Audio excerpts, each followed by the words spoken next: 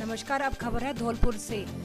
धौलपुर शहर के नगर परिषद के बाहर सफ़ाई संघर्ष समिति के पदाधिकारी द्वारा एक दिवसीय धरने का आयोजन किया गया।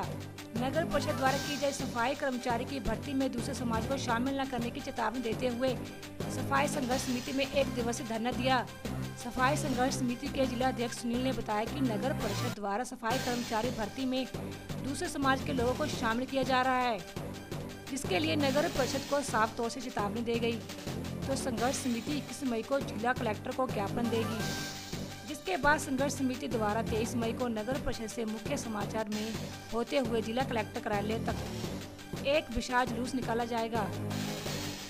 संघर्ष समिति के पदाधिकारियों ने चेतावनी दी है कि अगर उनकी मांगे नहीं मानी गई तो शहर में आंदोलन को तेज गति देते हुए सफ़ाई को बंद कर दिया जाएगा। धौलपुर से चैनल इंडिया लाइव के लिए खेमराज मीणा की स्पेशल रिपोर्ट